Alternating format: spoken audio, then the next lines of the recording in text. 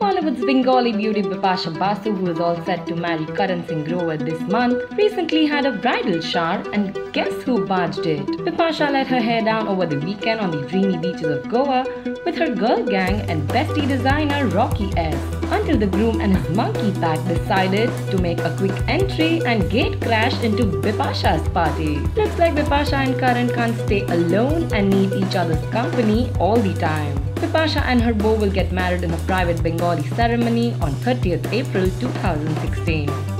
Be interesting to note that it is Karan's third wedding, while Bipasha's first. The two acted together in Alone and have been dating since then. Well, stay tuned to Bollywood Backstage for more updates on Bipasha and Karan's lavish Bollywood wedding. You can now click on the link given in the description below to download the official Bollywood Backstage app for the latest news and gossip. Don't forget to subscribe to Bollywood Backstage.